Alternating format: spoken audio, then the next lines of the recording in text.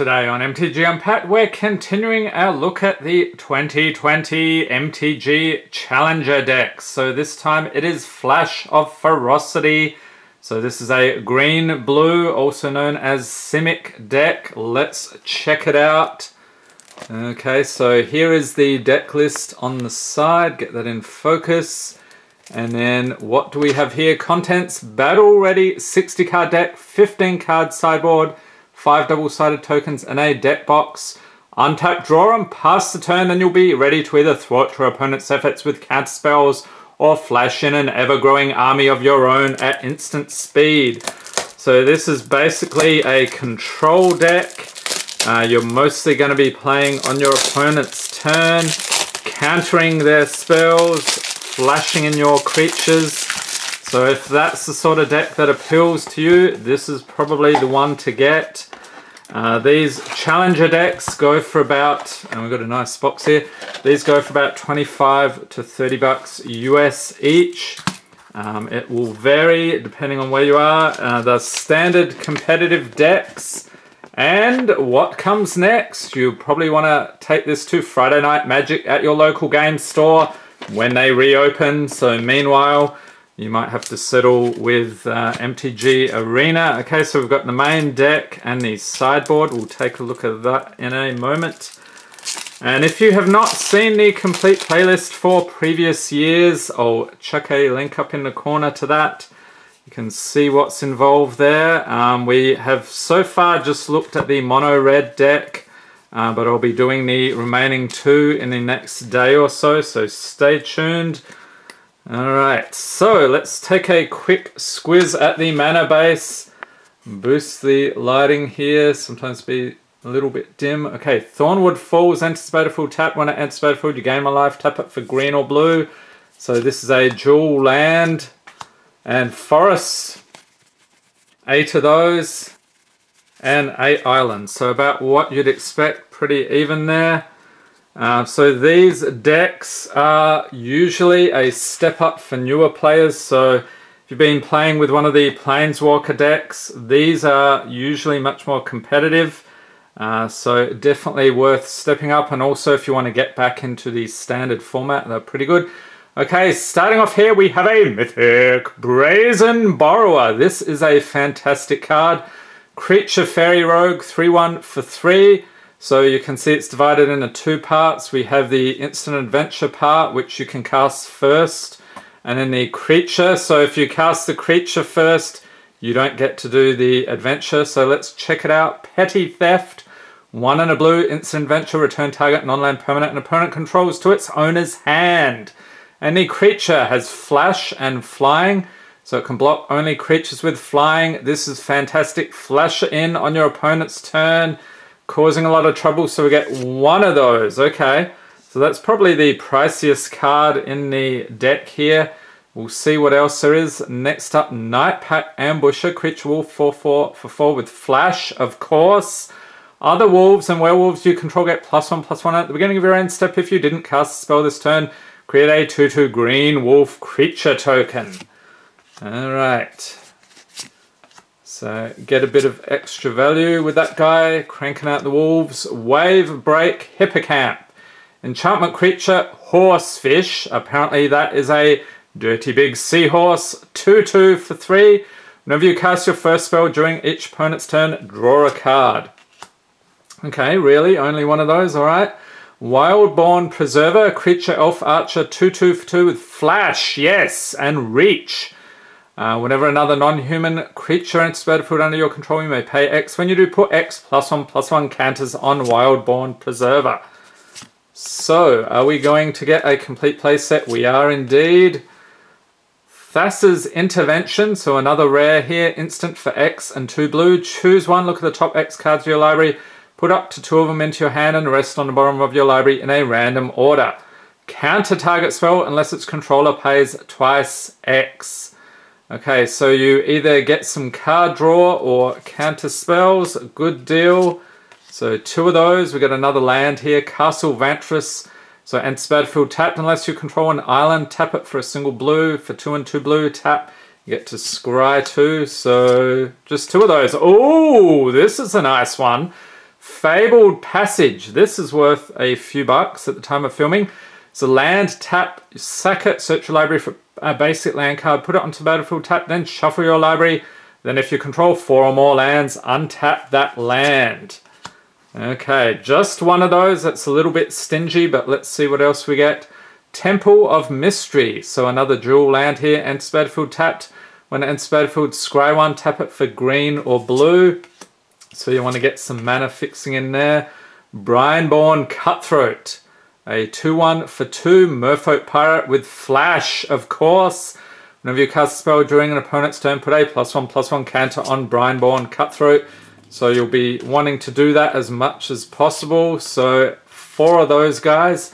Frilled Mystic, Creature, Elf, Lizard, Wizard. This always cracks me up. 3-2 for 4 with Flash. Enters the battlefield. You may counter target spell. So you may be one of those people who uh, get infuriated when your spells are countered. Um, so if you're playing mono red aggro, this would probably be a more annoying deck to play against. Spectral Sailor, Creature Spirit Pirate, 1-1 for a single blue. Of course, he has Flash and Flying, 3 in a blue, draw a card. Okay, so three of these dudes, four of them, okay, good. Uh, opt, instant for a single blue, scry one, draw a card, so you'll want to use that to get the cards you're looking for. That's one of the common control strategies. So four of those. Quench, instant for two. Counter target spell unless its controller pays two. Alright, so four of those. Sinister Sabotage, instant for three. Counter target spell. You're getting the idea yet? Surveil 1. So this was a mechanic in the uh, Guilds and Ravnica Allegiance block. So look at the top card of your library. You may put that card into your graveyard. So it's sort of a bit like uh, scrying, but you um, you can also chuck it in your graveyard. So two of those. Unsummon, instant for a single blue. Return target creature to its owner's hand. Nice bounce spell. And tokens, we get a wolf, 2-2. Okay, so double-sided on an adventure. Yep, another wolf and another wolf. Okay, so you'll want to be cranking out those wolves. So there we go. Let's take a look at the sideboard. And this is one, um, unfortunately they don't include codes here, but you could read Creator in MTG Arena. Uh, they have been having FNM events in Arena where you can just create these decks, so that might be a fun opportunity. Okay, so sideboard, we have Shifting Ceratops, another rare creature dinosaur, 5-4 for 4. This spell can't be countered, has protection from blue, so it can't be blocked, targeted, dealt damage, enchanted, or equipped by anything blue. Pay a green and it gains your choice of reach, trample, or haste until end of turn, so he is pretty versatile. So we got three of those. Aether Gust, here's another good one, instant for two. Choose target spell or permanent that's red or green. Its owner puts it on the top or bottom of their library. Okay, so bouncing those spells back. So three of those. Disdainful Stroke, instant for two. Counter target spell with convert mana cost four or greater. So this is moving into a full-on control strategy. Two of those. Mystical Dispute. This is another nice one. Instant for three. Spell costs two less to cast if it targets a blue spell. So this would be, you would use this against a similar deck, another control deck. Counter target spell unless its controller pays three. Okay, two of those. Negate, instant for two, counter target, non-creature spell. two of those. Threnody Singer, creature siren, 1-3 for 2 with flash and flying. Enters battlefield, target opponent or target creature an opponent controls gets minus X, minus 0 until end of turn, where X is your devotion to blue. So that's something in Theros Beyond Death. Each blue in the mana cost of permanents you control counts towards your devotion to blue. Three of those. Okay, so that's the sideboard. So let's see what else we can see here. So this deck will rotate out of standard later this year. So let's see what rotates out. So M20 is gone.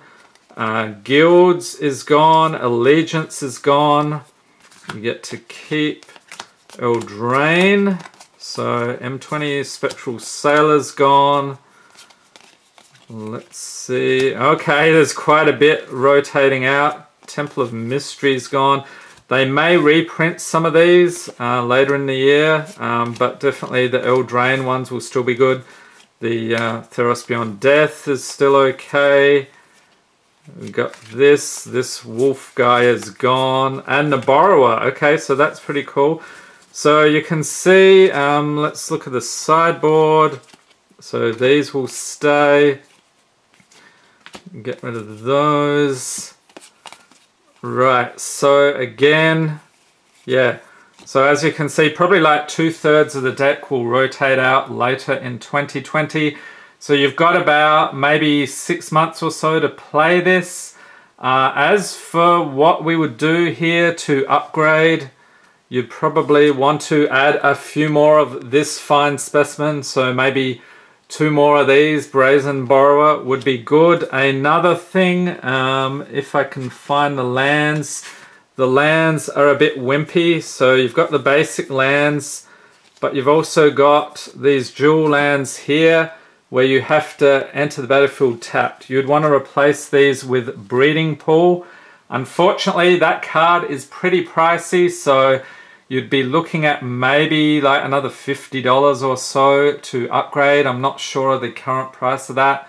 So yeah, you're starting off something 25 to 30 US. Uh, definitely options to upgrade it, get about six months of play out of it.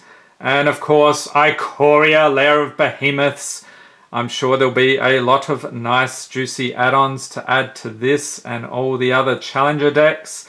So let me know what you think about this one. Is this something you would pick up? Or are you thinking of one of the other Challenger decks? Let me know in the comments. And I hope you enjoyed this video. If you did, give it a thumbs up. Hit the subscribe button for more Magic Gathering unboxings. And be sure to tap the notification bell to be notified as soon as new videos are released. Stay tuned, we've got two more of these to go, so if your favourite deck has not appeared just yet, keep your eyes peeled. I hope everyone's healthy and safe out there. Thanks for watching and have a great day.